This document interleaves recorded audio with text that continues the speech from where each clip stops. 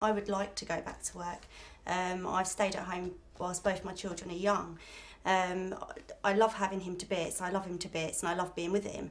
But I sometimes feel like the days just drift by, and that sometimes, hey, it's the end of the week, and do you know what? I really haven't done that much with him. I could have done so much. I could have taken him swimming. I didn't do that this week. What did I do? Um, I sometimes feel that if I had more of a structure, so if I was at work, then I would make the time when I was at home to do more with him. So for the time being, I would stay at home with him until he starts school and then hopefully I can get a job where I do school hours.